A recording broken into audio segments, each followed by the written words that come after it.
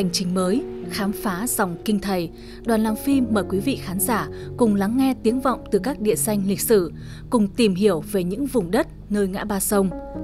Đây là những vùng quê hội tụ dấu ấn địa văn hóa, lịch sử, tiềm năng phát triển kinh tế. Qua đó, quý vị sẽ cảm nhận sông Kinh Thầy và các chi lưu của nó đã định hình những cộng đồng dân cư, lưu dấu đôi bờ theo dòng chảy thời gian. Dòng sông ấy cũng ký thác và khắc họa những khía cạnh cuộc sống cùng khát vọng của con người trong công cuộc mưu sinh và xây dựng quê hương ngày càng phát triển.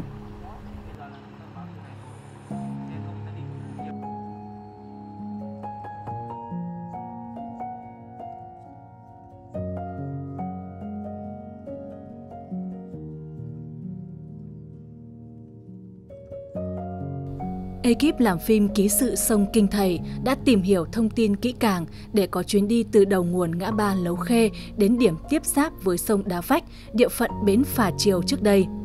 Càng đi, chúng tôi càng thấy ngã ba sông nào cũng thấm đẫm những câu chuyện huyền sử, linh thiêng. Chúng tôi cũng như được mở rộng tầm nhìn về một dòng sông lịch sử với bao tên đất, tên làng thân quen.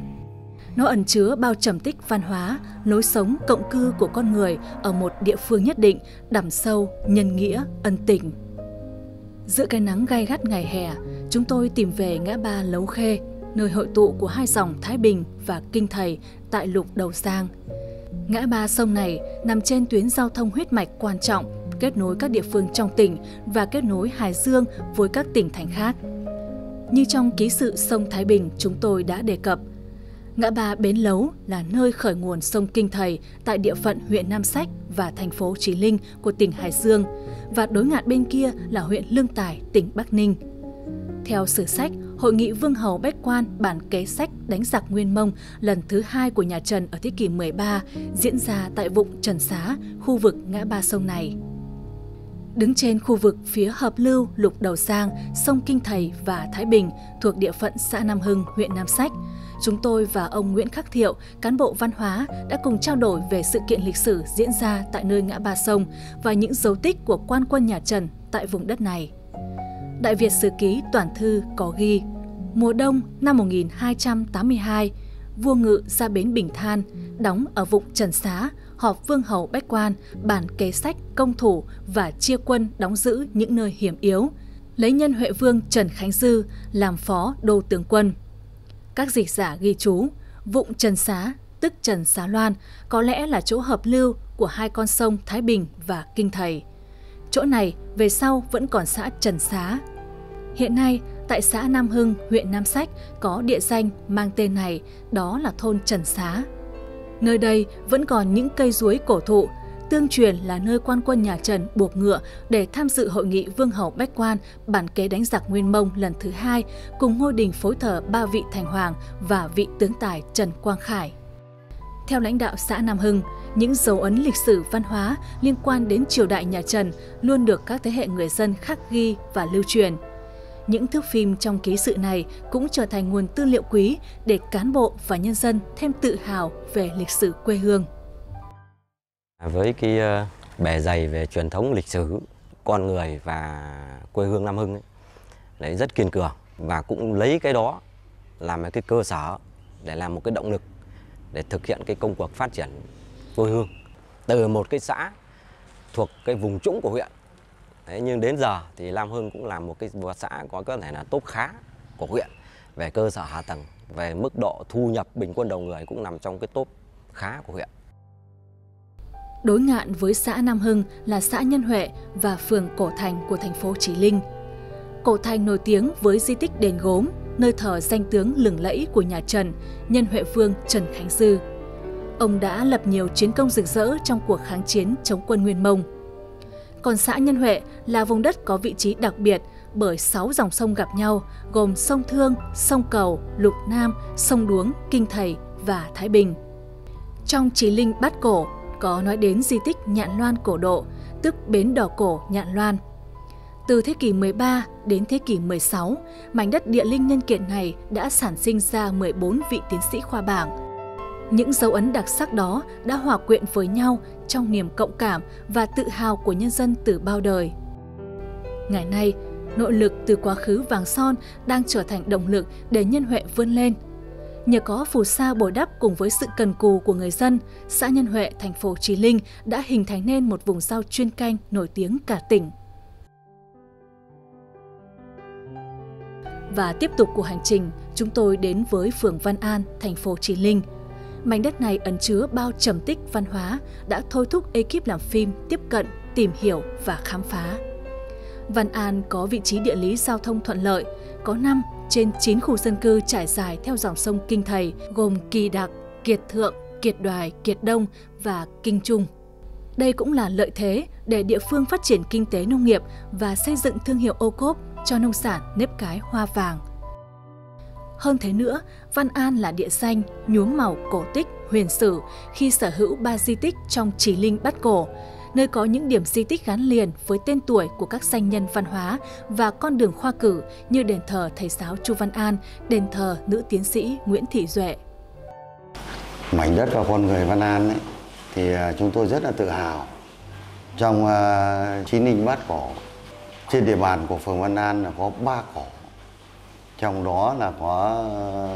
tiểu ẩn của Bích, tinh phi cổ tháp, nữa là chỗ huyền thiên cổ tự. Những ờ, năm gần đây ý, thì à, với cái sự quan tâm của các cấp lãnh đạo nhà nước cũng như là địa phương ý, thì các cái điểm di tích này ý, thì à, dần dần là cũng đã được đầu tư rất là quay như xứng tầm và được à, khách tham quan du lịch là các nơi trên địa bàn à, toàn quốc về chiêm bái và thắp hương tưởng niệm về Văn An, mọi người được trở về với vùng đất học nổi tiếng của Chí Linh và tỉnh Hải Dương. Được nghe câu nói, người làng dọc không học cũng hay. Làng dọc ở đây tức là làng Kiệt Đoài, nay là khu dân cư Kiệt Đoài. Miền quê này nằm bên dòng sông Kinh Thầy huyền thoại, vốn là một làng cổ nổi tiếng về sự học, có nhiều người đỗ tiến sĩ đại khoa. Tương truyền, cả giải đất ven sông Kinh Thầy, dọc làng Kiệt Đoài xưa, dân gian vẫn gọi là giải yếm bà chúa và cả khu đất nơi xây dựng ngôi từ đường dòng họ Nguyễn Khoa Bảng là đất vua ban cho bà chúa sao xa, tiến sĩ Nguyễn Thị Duệ. Ở Kiệt Đoài, nơi linh thiêng liên quan tới sự học phải kể tới ngôi đình được dân làng xưa dựng lên gần bến sông Kinh Thầy để thờ Thanh Hoàng cùng các vị tiên hiền và ngôi chùa cổ phổ chiếu có pho tượng vua bà độc đáo tức tiến sĩ Nguyễn Thị Duệ.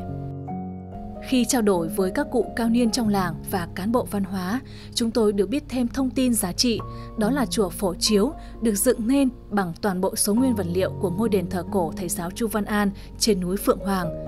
Đây là những di sản quý mà nhân dân địa phương luôn đau đáu bảo vệ và gìn giữ.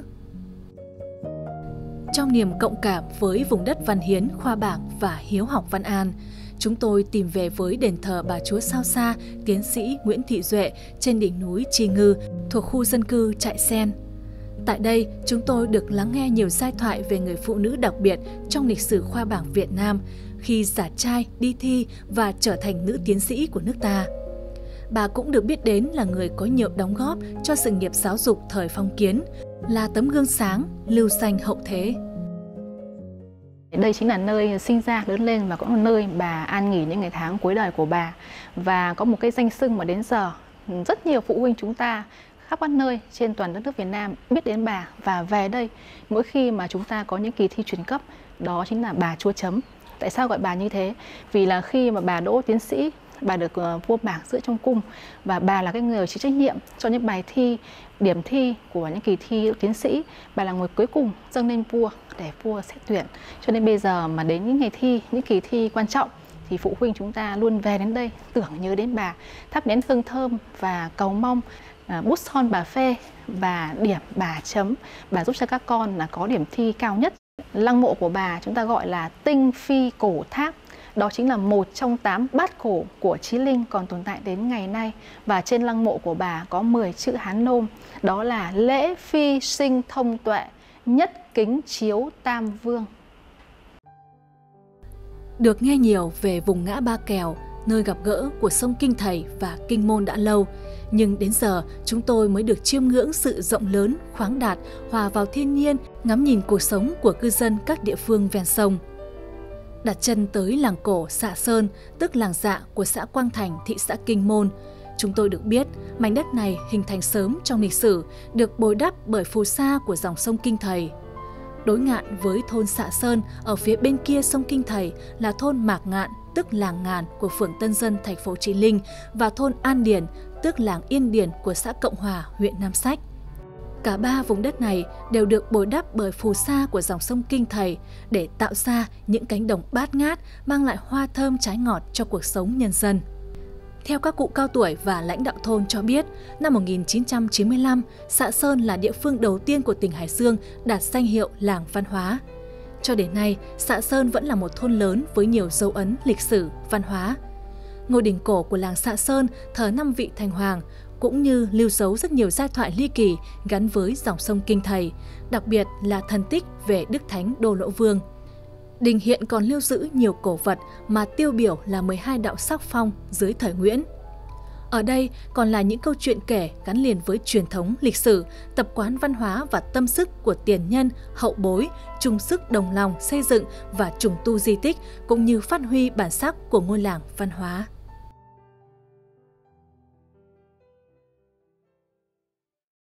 Khi mà ông hóa Thác mà lại xuất hiện lên một khúc gỗ đẩy xuống rồi lại trôi lên, thì dân làng thấy lạ kỳ là nật khúc gỗ lên thì có chữ là đô lỗ vương, ba chữ. Thế thì bắt đầu nhân dân thấy thế là một điểm trời, thì bắt đầu là lập đền thờ ông ấy. Thì từ đó thì làng dạ sơn là không dùng cái lỗ nữa, người ta gọi trạch là cái lũng chúng tôi có một cái câu nói tức là xã sơn là nơi có thể chân ta bước đi, nhưng mà trái tim của chúng ta luôn luôn ở đó ở đó. Chúng tôi luôn luôn là một thể thống nhất, không thể tách rời. Và chúng tôi chắc chắn sẽ là một cái khối đoàn kết thống nhất mãi mãi. Chắc chắn chúng tôi sẽ thực hiện thắng lợi các nhiệm vụ đấy. Và chúng tôi cũng mong muốn rằng và tin tưởng một điều rằng cái di tích của ờ, quê hương chúng tôi sẽ ngày càng phát triển cũng như là rực rỡ hơn nữa đấy là sẽ là cái kết quả cái thành quả của sự kế thừa của nước cha ông đi trước cũng như là sự biết ơn tri ân của những ờ, lớp hậu bối đi sau như chúng tôi và cả cả sau chúng tôi nữa. Một ngã ba sông quen thuộc mà chúng tôi trở lại trong dịp này là ngã ba sông Kinh Thầy, Đá Vách, khu vực Bến Phà Triều, là nơi xã Hoành Sơn, phường Thất Hùng của thị xã Kinh Môn và thị xã Đông Triều cùng chung dòng sông Kinh Thầy. Ở ngã ba sông này, Hoành Sơn là một trong những vùng đất có bề dày lịch sử, văn hóa, là niềm tự hào của mỗi người con sinh ra và lớn lên trên mảnh đất này. Nhìn từ trên cao, nơi đây có cảnh sắc sơn thủy hữu tình, có núi thấp, đồng xanh cùng hai dòng sông lớn Kinh Thầy và đá vách uốn lượn bao quanh, trở nặng phù sa, đắp bồi làng mạc, tạo điều kiện phát triển các cây trồng chủ lực cho hiệu quả kinh tế cao như sắn dây hay hành tỏi. Hoành Sơn có diện tích tự nhiên là hơn 400 ha với gần 4.000 nhân khẩu, sinh sống quần cư ở ba thôn Gậy Sơn 1, Gậy Sơn 2 và Nghĩa Lộ. Mảnh đất này cũng gắn liền với những chiến công oanh liệt trong lịch sử phong kiến Việt Nam.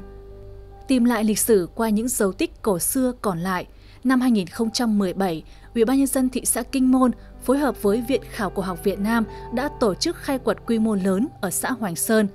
phát hiện khu vực bãi cầu thủ có bãi cọc gỗ cổ. Qua nghiên cứu, giám định, các nhà khoa học đã nhận thấy những chiếc cọc gỗ ở Hoành Sơn tương đồng với cọc gỗ ở Bạch Đằng Sang, di tích lịch sử ghi dấu trận đại thắng của quân dân nhà Trần trên sông Bạch Đằng. Do đó có thể khẳng định Hoành Sơn từng là một trong những trận địa của quan quân nhà Trần trong trận thủy chiến chống quân Nguyên Mông ở thế kỷ 13. Di tích quan trọng khác của xã Hoành Sơn là đền Thiên Kỳ thờ danh tướng Nguyễn Đình Húc, người con quê hương có tài thao lược đã lập đại bản doanh khởi nghĩa, được Lê Lợi phong làm phó tướng chỉ huy một cánh quân chống lại quân Minh ở thế kỷ 15. Truyền thống, lịch sử văn hóa và anh linh của vị tướng dũng cảm, tài ba đã hôn đúc ý chí quật cường để cán bộ và nhân dân Hoành Sơn vượt qua khó khăn thử thách trong cuộc kháng chiến chống Pháp, chống Mỹ và đồng lòng quyết tâm xây dựng quê hương ngày càng giàu mạnh trong thời bình. Hoành Sơn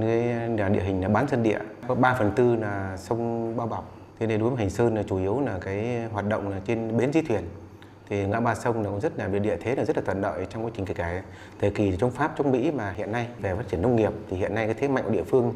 là có cây hành, cây tỏi và sen dây. Với cái bình quân à, thu nhập của toàn xã là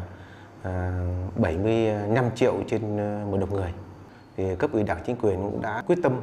cùng với nhân dân thế mà tập trung xây dựng quê Hoành Sơn đến nay là điện đường trường trạm mà cơ sở hạ tầng thì cũng là tương đối đáp ứng được cái nhu cầu hiện nay.